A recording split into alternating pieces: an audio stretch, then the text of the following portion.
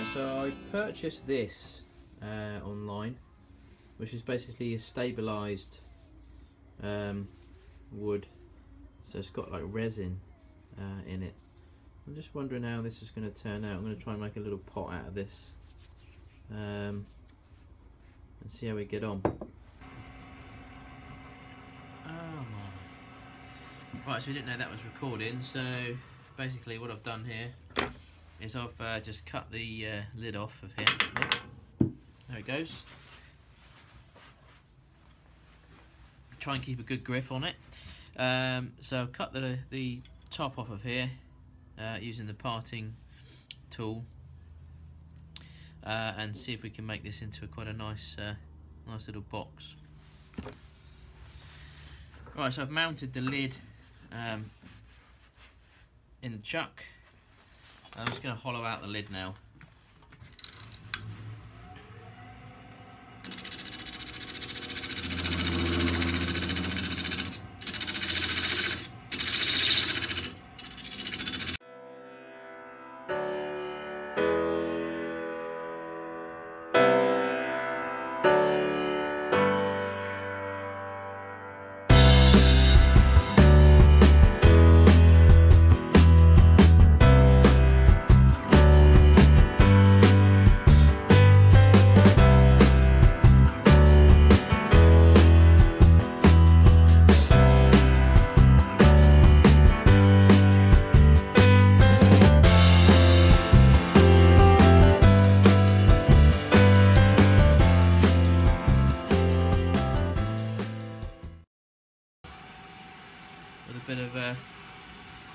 Friction polish.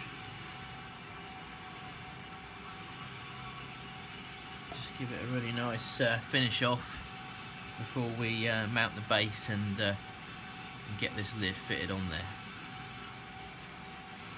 But this should come up quite nice really because it's um, stabilised um, resin and uh, yeah, it should look quite nice with this effect.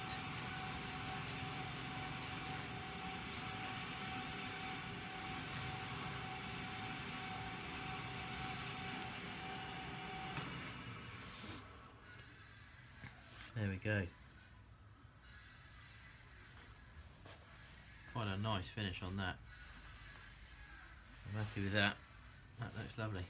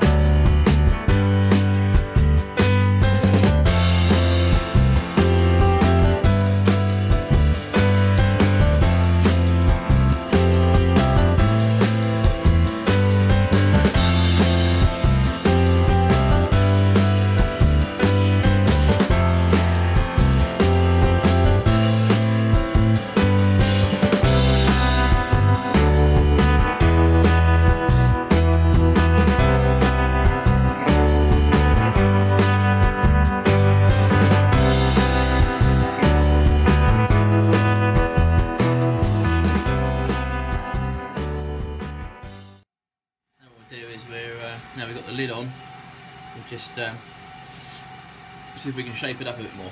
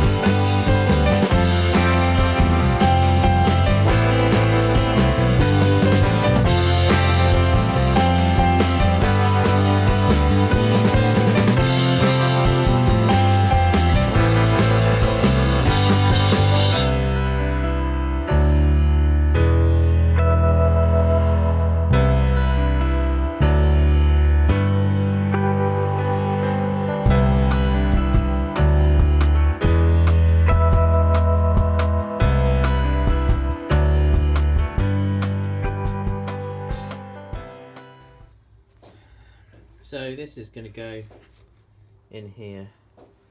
I think I'll go for a black one this time. Um, but this is looking quite good. It's going to be a nice piece this. So getting closer now to the finish. Uh, I'm just uh, polishing it up a little bit. Making it look a uh, a bit good, a bit shiny, making it a bit shiny. And there we go. There's the uh, there's the finished piece. This stabilised wood looks uh, pretty amazing, eh? So we've got the uh, logo in here as well. Again, like I said before, it's always important to brand your pieces of work, you know, whether you're selling them or not, really. You know, it's always good to come back in, and this will be here for a lot longer than you will, so bear that in mind. You know, it'd be nice to know that, uh, oh, it was done by you, made by you, so there we go. Quite a nice uh, little trinket box, really. Don't know whether to finish it off with the bottom, maybe put a bit of felt in the bottom there, might do that, but um, yeah, it's quite nice. There we go, hope you enjoyed watching.